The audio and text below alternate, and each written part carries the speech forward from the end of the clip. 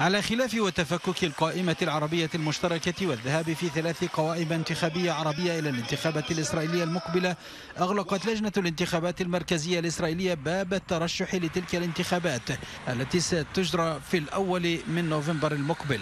ففيما خالت القوائم الإسرائيلية من أي مفاجآت فإن الأحزاب العربية تلقت صفعة قوية بعد انشقاق التجمع الوطني الديمقراطي برئاسة سامي أبو شحادي عن القائمة المشتركة التي تضم الجبهة الديمقراطية للسلام والمساواة برئاسة أيمن عودي والقائمة العربية للتغيير برئاسة أحمد الطيبي دون أن يخلو ذلك من كيل الاتهامات كل للآخر.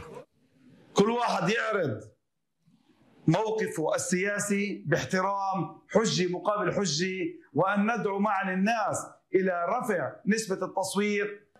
هذا التفكك من شأنه كما يرى مراقبون أن يضعف التواجد العربي في الكنيست فتشتيت أصوات الناخبين وعزوف نسبة كبيرة منهم عن التصويت قد يصب في صالح الأحزاب اليمينية المتطرفة. نسبة المشاركة لن تتجاوز كما يبدو الأربعين وقد تنخفض بعد الانقسام الجديد وهذا قد يعني أن الأحزاب العربية ربما لن تجد لها تمثيل في الكنيست.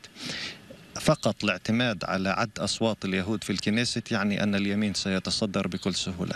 وفيما وصل عدد القوائم المتنافسة في الانتخابات المقبلة إلى أربعين قائمة فإن التوقعات تتجه نحو نجاح إحدى عشرة قائمة في دخول الكنيست بينها قائمتان عربيتان وهما المشتركة برئاسة أيمن عودي والعربية الموحدة برئاسة منصور عباس. على الرغم من مخاطر الذهاب العربي إلى الانتخابات في ثلاث قوائم بأن تزيد من فرص عدم اجتياز نسبة الحسم لأحدها وبالتالي ترجيح كفة الأحزاب الأكبر وعلى رأسها الليكود إلا أن ذلك لا يعني حسب استطلاعات الرأي الأخيرة تمكن أي من المعسكرين المتنافسين الوصول إلى 61 صوتا لتشكيل الحكومة المقبلة في إسرائيل.